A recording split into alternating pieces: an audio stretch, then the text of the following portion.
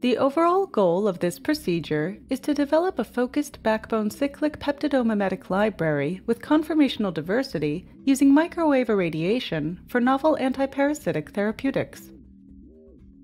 This method can help develop novel tools to specifically target protein-protein interactions.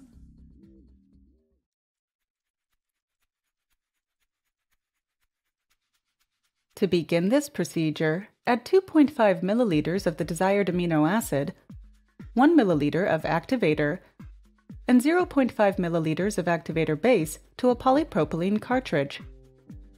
Place the cartridge in an automated microwave synthesizer and allow the coupling reaction to proceed for 300 seconds at 25 watts and 75 degrees Celsius. Once the reaction is complete, wash the resin with 7 milliliters of N,N-dimethylformamide, or DMF, for 120 seconds at room temperature.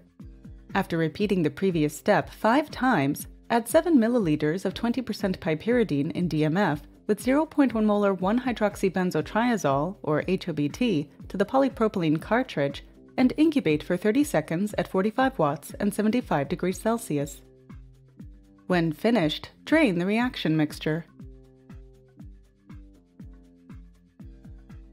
Next, add 7 milliliters of 20% piperidine in DMF with 0.1 molar HOBT to the polypropylene cartridge and incubate for 180 seconds at 45 watts and 75 degrees Celsius.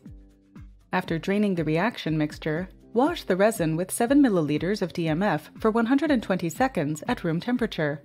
Then, wash the resin with 7 milliliters of dichloromethane, or DCM, for 120 seconds at room temperature.